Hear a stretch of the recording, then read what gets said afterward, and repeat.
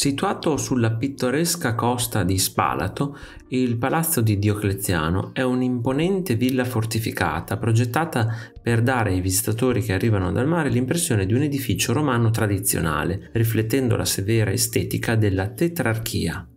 Questo maestoso complesso storico è famoso per la sua struttura architettonica ben conservata, che combina elementi funzionali con una notevole grandiosità estetica.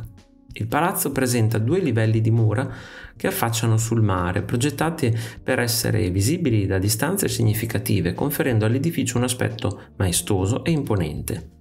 La struttura è sormontata da un portico con colonne incassate nel muro, tipico degli edifici romani, ma caratterizzato da tre grandi aperture ad arco al centro e alle estremità che aggiungono un tocco di eleganza e apertura visiva.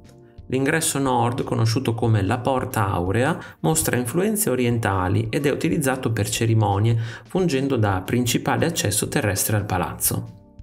Questo ingresso è particolarmente ricco di decorazioni, con staffe che sostengono due livelli di colonne indipendenti. Le sporgenze del livello superiore supportano una serie di nicchie ad arco, arricchite da foglie di acanto e spirali sui capitelli delle colonne. All'interno il palazzo era originariamente adornato con mosaici policromi, rivestimenti in marmo e opus sectile, anche se gran parte di questi materiali preziosi furono saccheggiati nel VII secolo. Il peristiglio è sorretto da colonne di granito rosso egiziano e marmo cipollino con capitelli corinzi recuperati, dimostrando la ricchezza dei materiali utilizzati.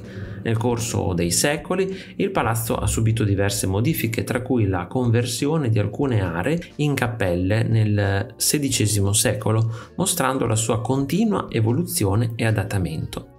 Le porte decorate del palazzo conducono a una rotonda cupola che funge da vestibolo, sottolineando la grandiosità e la complessità dell'architettura. Il palazzo di Diocleziano non è solo un testimone della storia architettonica romana, ma continua a essere un punto di riferimento per studiosi, turisti e appassionati di storia, offrendo una visione unica nel suo genere sulle pratiche architettoniche e decorative del passato. Se ti è piaciuto il video iscriviti al canale, lascia like e condividilo con i tuoi amici. Ti invito anche a visitare il mio negozio. Un saluto e al prossimo video di Arte Esplorando.